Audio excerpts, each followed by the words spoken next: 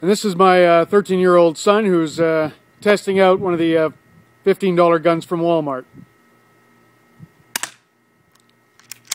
You load and cock. Shoots relatively easy. This is being shot at about 180 feet per second. The small ball bearings that this weapon uses create a fair velocity enough to damage this cardboard box. The RCMP said they were pellets guns, but really they shoot these small plastic hard spheres that are more like BBs than pellets.